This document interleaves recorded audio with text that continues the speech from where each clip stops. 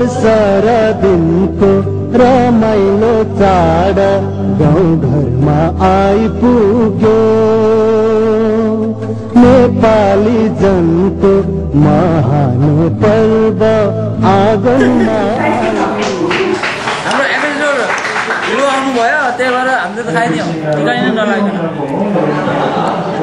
दसैँ कस्तो लागिरहेछ? साह्रै रमाइलो लाग्यो। घरको सम्झना? धेरै सम्झना भयो। सम्झनाहरू पनि यहाँ अब हामी नेपाली दाजुभाइ र तपाईँहरूसँग बस्छ घरको यादलाई बेसी नै सम्भव कोसिस गरिदिएको कति भयो आउनु भएको डेढ वर्ष भयो।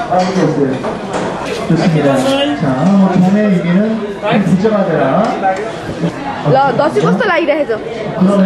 ठिकै लागिरहेछ। राम्रै छ। कति भयो आउनु भएको तिन महिना।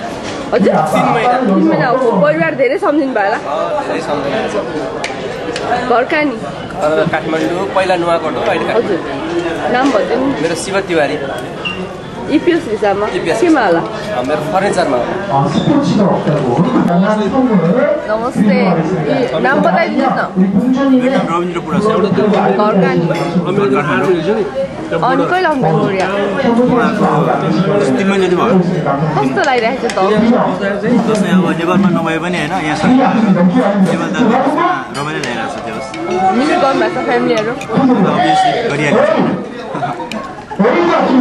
के फरक पाउनु भयो त कोरिया र नेपालमा अब आउनु त भयो तिन महिना भयो होइन बिस्तारै बुझ्दै गयो भन्ने कुरा जस्तो पनि ल्याइरहेको छ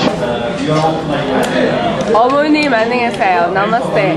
नमस्ते दसैँ 어때요? दसैँ 어때요? 좋아요. 이렇게 사람들 많이 모여가지고 그렇지 즐겁고 행복하고 쫓아다니고 दसैँ कस्तो लागिरहेछ एकदमै राम्रो लागिरहेछ हजुर के गर्ने? नेपाल जान पाइएन। नेपाल भने धेरै खुसी हुन्थ्यो। अब यहाँ आएर सबैसँग भेटघाट भयो। एकदमै राम्रो कुराहरू भयो। यसको लागि धेरै धेरै एकदम शुभकामना छ। दसैँको लागि मेरो विजयादशमीको एकदम सबै मेरो सम्पूर्ण मेरो नेपालदेखि लिएर कोरियावासीहरूलाई एकदमै खुसी छ मेरो यहाँनिर। नाम मेरो बालकृष्ण बोरा हजुर टिकापुर कैलाली। ए म आएको हजुरको अब तिन महिना।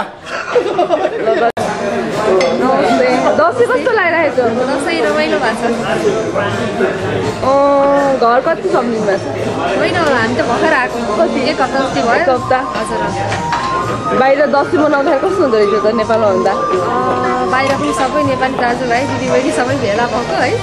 केही नेपालको यादै आएको छैन मलाई।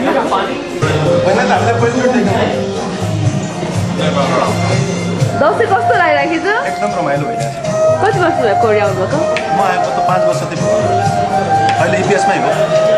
कहाँ काम गर्नु भोइजम्बु भन्ने ठाउँमा नाम भनिदिनुहोस् न मेरो नाम दिलीप रावल हो। घर मेरो उता पश्चिम अछाम हो। कस्तो कस्तो हुँदो रहेछ यो कोरियामा दसैँ भन्ने कुरा? रमाइलो लाग्यो थियो। आज आइतबार भएको? योभन्दा दुई पहिलाको दिनहरूभन्दा दुई वर्ष चाहिँ अझै केही। अहिले इपिएसबाट साथीहरू आएर अलिक केही दसैँको रौनक बढिहाल्छ सम्पर्क भयो त्यस्तो भए त्यस्तो धेरै घन्टा काम गरेर पनि दसैँ मनाउन आउनु भयो होइन एकदम हाम्रो महान चाड हो। होइन हामी अति मान्छौँ चाड परिचय दिनुहोस् न।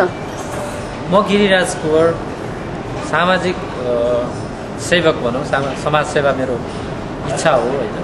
अहिले चाहिँ नेपाल सम्पर्क समितिको सचिव पनि हो। कतिजना नेपालीहरू आउँदैन अ, अहिले त खासै उपस्थिति उल्लेख्य उपस्थिति छैन तैपनि पचासदेखि साठीजना जति हुनुहुन्छ होला तर राउन्डमा त्यही दुई सयजनाभन्दा बढी पुग्ने अनुमान छ। अनुमानित सङ्ख्या चाहिँ दुई सयभन्दा बढी हुन्छ। कस्तो लागिरहेको छ त दसैँ मलाई त एकदम रमाइलो लागेको छ। मेरो कोरियाको बसाइ लगभग छ वर्षको भएको छ। छ वर्षको पिरियडमा म सबैभन्दा पहिलोपटक रेस्टुरेन्टको दसैँलाई रेस्टुरेन्टलाई घर मानेर दसैँ घर मनाएको मेरो पहिलोपटक हो। मलाई चाहिँ साह्रै खुसी लागेको छ। सबैजना मान्छे साथीहरू पनि भेटघाट हुने टिका पनि लगाउनु पाइने। दसैँ कस्तो भइरहेको छ बडा रमाइलो भइरहेछ प्रवासी भूमिमा यसरी मनाउन पाउँदाखेरि के फरक रहेछ कोरिया र नेपालीमा दसैँ मनाउने ने नेपालमा भएको सबै आफन्तहरूसँग भेटिन्थ्यो यहाँ चाहिँ अब यहाँबाट चिनेका साथीभाइहरूसँग भेटघाट भएको छ एउटा सहज र वातावरण राम्रोसँगले मनाइराखेको छ कति वर्ष भयो आउनुभएको म आएको लगभग छ सात वर्ष भयो दसैँ कस्तो लागिरहेको छ रमाइलो छ नि कोरियामा सबै चिज रमाइलो छ छुट्टी रमाइलो छ दसैँ रमाइलो छ मान्छेहरू यहाँ भएको एम्बेसेडर एम्बेसेडरको हातबाट टिका लाउँदै हुनुहुन्छ कस्तो अनुभव गरिरहनु भाग्यमानी छौँ हामी। अहिले चाहिँ के अरे पाउनु टुरा जस्तो भइरहेको छ अब हेरौँ टिका त के हुन्छ होला।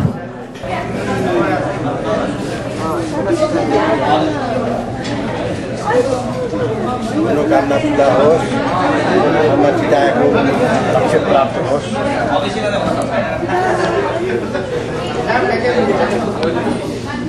भाग्यमानी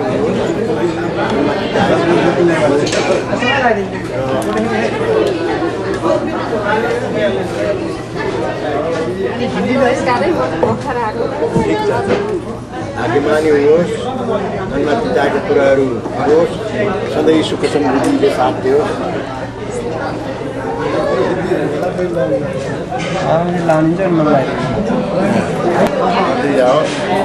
भन्दै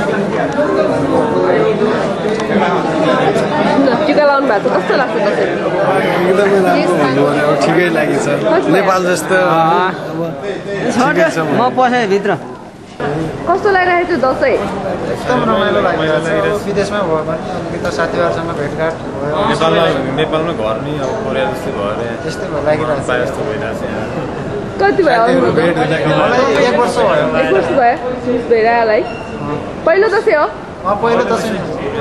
कोरियाको पहिलो दसैँ। सबै इपिएसबाट आउनु भएको? थ्याङ्क यू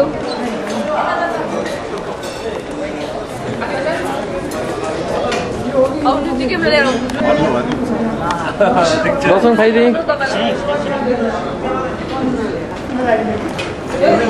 दसैँ कस्तो लागेछ एकदम रमाइलो। अनि अरू केही?